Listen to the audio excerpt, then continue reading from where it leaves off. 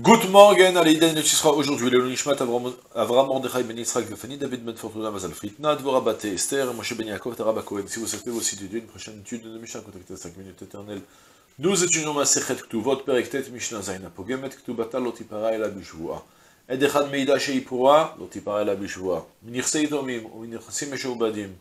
Veshelo Befanav, Lotipara Ela Bishvua. On a une Mishnah devant nous avec 5 cas de figure une femme qui vient chercher sa ktouba dans toutes sortes de situations, comme on va voir, et que dans ces cas, on va lui demander de jurer qu'elle n'a pas reçu la somme de sa ktouba déjà.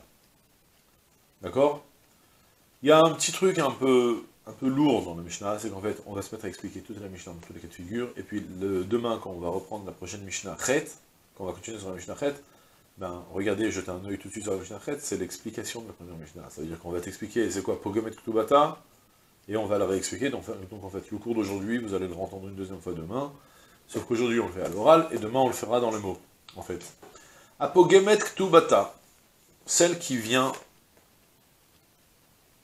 Pogemet, j'ai pas de mot pour traduire le mot qu'elle vient porter, elle vient détériorer, elle vient abîmer, abîmer sa Ktuba eh bien, l'otipara, elle la bishvoa, elle ne pourra se faire encaisser, encaisser, elle ne pourra encaisser sa ktouba que si elle jure. Soit, Réouven, a divorcé sa femme, elle débarque maintenant, deux mois après, elle dit, hey, mon ami là, enfin mon ex-ami, tu m'as pas donné encore mes 100 000 euros, qui sont écrits là.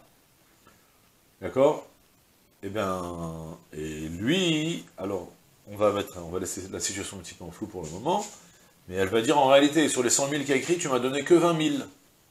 Est-ce qu'on appelle qu'elle est en train d'être pogemet ktubata Si la femme elle vient, elle sort un shtar et écrit que tu me dois 100 000, tu me dois 100 000 et tu, me les payes. Mais là, parce qu'il a marqué maintenant, il y a marqué 100 000, mais elle dit, ouais, mais 20 000, tu m'as déjà payé. Alors là, Khamim, on dit, écoute-moi, tu as un shtar, c'est vrai, tu as la main haute, tu as l'avantage chez toi, mais tu dois quand même jurer que qu'il t'a pas payé plus que les 20 000. Pour quelle raison? Parce que de manière générale, lorsque c'est fréquent, c'est très fréquent comme situation. Quelqu'un qui me doit, euh, je lui dois 200 shekels, et je vais lui payer, tiens, prends déjà 50, 50, la prochaine fois que je vais vouloir continuer à lui payer, je vais plus me souvenir de combien est-ce que je lui ai donné, est-ce que je lui ai donné 50, 100. Dès qu'on a commencé à payer, on ne fait plus attention à combien on a payé. On peut se tromper facilement. Du coup, Rami, on dit, toi tu viens, tu réclames que tu, te doit encore 80 000, eh ben, jure qu'il te doit réellement 80 000, 80 000 et qu'il t'a pas payé plus. D'accord? Ça, c'est le côté euh, psychologique on ne fait pas attention une fois qu'on a payé, qu'on a recommencé à encaisser, ou qu'on ne sait plus exactement où est-ce qu'on en est exactement dans les comptes, on se trompe facilement. Le cas plus précisément, il va être expliqué dans la prochaine Mishnah, c'est qu'en fait le mari vient, il dit euh, je te donne tout, va, je me souviens plus, je t'ai payé, je t'ai pas payé, il dit ouais, non, tu m'avais payé, et tu m'as donné juste 20 000. Donc le mari, il ne réclame pas à la femme. Lui, il dit rien. Elle vient, elle sort un chat, celle qui parle, celle qui fait tout presque tout en monologue. Maintenant, si, de manière générale, une femme qui va sortir une va son mari qui dire tu me dois 100 000. Et le mari dit, je t'ai déjà payé, et elle, elle dit, non, tu ne m'as pas payé. Lui, il a le droit de lui réclamer qu'elle lui jure. C'est s'il le réclame activement, il dit, hey, je, ne te paye que si tu jures que je ne t'ai pas déjà payé. Parce que moi, je prétends que je t'ai déjà payé. Mais on parle d'un mari qui prétend, prétend rien. Nous, on est le bedin, il est de côté, il dit, écoute, euh, le mari, il ne sait plus, il sait pas ce qu'il en est, il dit, je, ne t'ai pas payé, il dit, non, tu m'as vu que 20 000. Lui, il est prêt peut-être à payer. Le reste, malgré tout, on va dire, écoute, puisque tu es pogemet ktubata, tu abîmes ta ktuba, tu dois payer. Tu dois jurer avant de, faire encaisser la ktuba. Autre situation encore, edechad meida a, l'otipar la bishvoa. Lui, il vient, il veut payer, il veut, elle, elle vient, elle veut se encaisser sa ktuba. Le mari, il dit rien, il n'en sait rien. Il ne me souviens pas, il a des comptes, il a récemment divorcé cinq femmes et marié quatre autres femmes, il ne sait plus où il en est. D'accord? Là n'est pas le problème. En tout cas, elle vient, et il y a un Ed Echad, un témoin, mais unique. Dans la Torah, vous savez, il faut deux témoins pour tout. Bah, avec un seul témoin, ça sert presque à rien, mais dans les dîners mamonotes, ça sert quand même, parce qu'un témoin, il permet de faire jurer. Si je te réclame 1000 shekels que tu me dois, et toi tu dis, tu me dois rien, et il y a un témoin qui dit, non, non, tu lui dois 1000 shekels, tu es imposé de jurer, si je ne jure pas, tu dois payer. Ça, c'est pour les dettes en général, mais là, on parle d'une dette avec un shtar, c'est différent, il n'y a pas de joie de la Torah, dans les peu importe pourquoi. Mais en tout cas, puisqu'il y a déjà un témoin qui va maintenant, euh, qui vient, comment dire, témoigner, plaider pour le mari en disant non, non, non, il ne faut pas que tu la payes, tu l'as déjà payé. Il y a Edera qui l'a contredit, elle devra jurer avec Bishvua, en jurant. D'accord? Elle pourra se, devra s'encaisser ça. Tout va que en jurant qu'elle n'a pas encore encaissé son argent. Trois situations maintenant, c'est le même principe. C'est qu'en fait, elle vient se faire payer minir ou minirchasim eshubadim, ou encore veshelo befanav. Elle vient se faire encaisser de sa des nirseitomim, des biens des orphelins, ou encore minirchasim ameshubadim, des biens qui ont été acquis par une tierce personne, Veshelo befanav, encore elle vient se faire encaisser, alors que le mari n'est pas là. Il n'est plus là, il est à l'étranger. Et elle, elle a besoin de manger, elle a besoin de, divorcer, de toute façon, elle a envie de récupérer, elle voudrait récupérer ktuba, et eh bien la Mishnah me dit, l'otipara la bichvoa. Elle ne pourra jurer que, elle ne pourra récupérer sa ktuba que en jurant. Soit en fait, c'est simple. La femme, elle a un billet, elle a, elle sa ktuba, il écrit 100 000 euros. Lui, il est mort. Premièrement. Elle vient dire, bon, ouais, il est mort, il est mort, mais moi j'ai besoin de récupérer mes 100 000. Donnez-moi les 100 000, il y a les biens des, orphelins. Eh bien, on va lui dire, il faut auparavant que tu payes qui ne t'a pas donné d'argent. Pour quelle raison? Et même principe aussi avec Minechassim et Shobadim, d'abord je finis le, le, truc, et après on expliquera. Minechassim et Shobadim, c'est Minechassim et Shobadim, les biens qui étaient engagés, c'est-à-dire, le mari, on avait expliqué, quand je me marie avec ma, depuis que je suis marié avec ma femme, je suis engagé qu'en cas de problème, je lui laisse une telle somme. Tous les biens que j'ai acquis depuis que je me suis marié, ils, sont, ils, sont, ils ont été engagés pour cette dette. C'est-à-dire que si en fait il y a 17 ans, j'ai acheté un, bien et je l'ai revendu il y a 13 ans. Et aujourd'hui maintenant, je dois payer ma clouva. Et j'ai pas de bien. Elle, elle va dire, bon, ben, t'as pas de bien, t'as pas de bien, je peux pas la payer. Elle va chercher de tous ceux qui ont acquis de moi dans les 20 dernières années depuis que je me suis marié avec elle, elle va repartir les voir selon le, dernier entrée, la dernière sortie.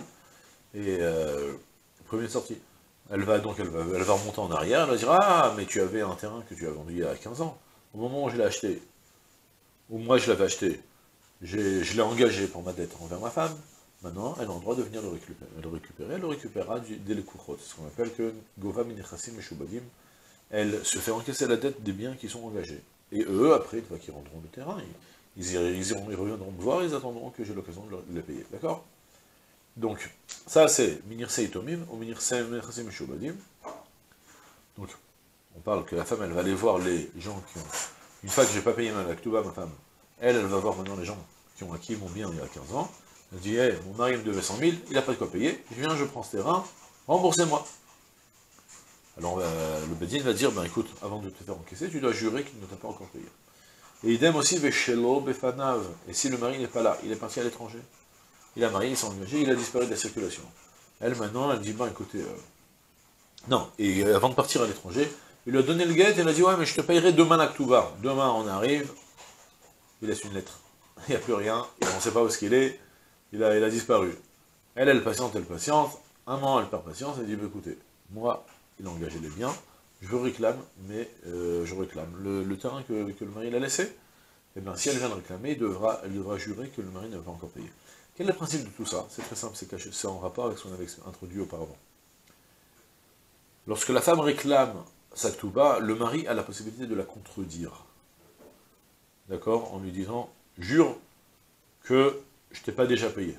Et elle, si elle voudra quand même se faire encaisser en disant, hey, j'ai le shtar, on va lui dire, non, tu dois quand même payer. D'accord Ça, c'est la donnée de base. Selon ce principe, il faut savoir une règle. lorsque vous partez au Beddin, le Dayan n'a pas le droit de parler à votre place. Si vous venez au Beddin et vous réclamez n'importe quoi, vous dites ouais, il m'a volé ma voiture, donc je réclame qu'il me rembourse, qu'il me rende mes clés. au lieu de réclamer la voiture, vous réclamez vos clés, le il va trancher que qui vous doit 120 shekels, ce que coûte le, le prix de faire une clé de voiture, et pas les 20 000 shekels de la voiture. Pour quelle raison? Parce que ce que tu réclames, tu reçois. C'est une règle au Beddin. On ouvre, le Dayan, n'est pas là pour parler à la place des gens. Ce que toi tu viens, tu réclames, si tu as raison, tu recevras. Ce que tu réclames pas, on n'a pas d'intérêt à le donner. Tu réclames pas, tant pis pour toi. D'accord? C'est une base. Selon ce principe, alors, lorsque la femme, elle vient dire, et tu me donnes tout bas, le mari regarde et... Je sais pas, bon, je te dois. Qu'est-ce que tu dis, toi, Dayan Il dit, bah, écoute, elle a, intérêt, elle un shtar, tu dois lui payer les 100 000 qu'il a écrit. Mais le mari s'y réclame et dit, mais non, je t'ai déjà payé. Donc il nie. Lorsque le mari nie, il a la possibilité d'imposer à la femme de jurer. Ça, c'est la donnée de base. Selon ce principe, on a une règle que toute personne qui se retrouve à Bedin, et qui ne réclame rien, il ne réclame pas comme il faut, mais parce qu'il pas, parce que ça ne le concerne pas à lui en théorie, comme c'est le cas par exemple des orphelins. Est-ce que le père, il a payé la ktouba à sa mère, à sa femme? Ils n'en savent savent rien, d'où ils peuvent, ils ne sont pas dans les comptes de, son père, ils n'en savent rien. Idem pour ceux qui ont acheté le terrain, que je vous ai raconté là, il y a 15 ans, quand ils ont acheté mon terrain. Maintenant, la femme divorcée, elle va venir voir les, ceux qui ont acquis le terrain, ils vont dire, rembourse-nous. Mais ils n'en savent rien, est-ce que... Dans ce cas-là, on dit que le Dayan a le droit de parler à la place de celui qui était là. C'est-à-dire, je reprends, on va, prendre, on va illustrer ça avec un cas un peu plus concret. Il y a, comme je vous ai dit, j'ai marié ma femme il y a 20 ans, il y a 17 ans, j'ai acheté un terrain et une maison, et je l'ai rendu il y a 15 ans. Aujourd'hui, la date arrive, j'ai pas de quoi payer la femme. Elle vient me réclame. Maintenant, je peux lui dire à la femme, moi, jure-moi que je t'ai pas déjà payé. Elle devra jurer. Si je dis rien, je lui dois l'argent. Maintenant, j'ai pas de quoi lui payer, alors elle va partir voir celui qui a acquis la maison, il y a 15 ans. Il va lui dire, écoute, le, terrain, la, maison, elle est engagée pour ma dette, on me donne la moi. Lui, il est là, il dit, ah, je sais pas, je suis au courant de rien. En théorie, le Dayan, il doit se taire, et il doit laisser la femme prendre le terrain. là, le chidouche de la Mishnah, il de me dire, non, que toute personne qui n'est pas apte à parler, parce que celui qui a acheté la maison il y a 15 ans, il ne sait pas ce que j'ai payé, ce que j'ai payé, il n'a aucun moyen de savoir. C'est pour ça qu'il réclame rien, et qu'il cloue, il se, tait parce qu'il n'a rien à dire, il n'en sait rien. Dans un cas pareil, Rami ont instauré, Ptar Pichala Ilem, laisse, parle à, passe la, parle à la place de celui qui, est muet. Il ne sait pas répondre. Toi, Dayan, parle à la place de lui et réclame qu'elle ne récupère sa kluba que si elle jure auparavant. D'accord? Et c'est tout pour aujourd'hui. Je souhaite une journée pleine de la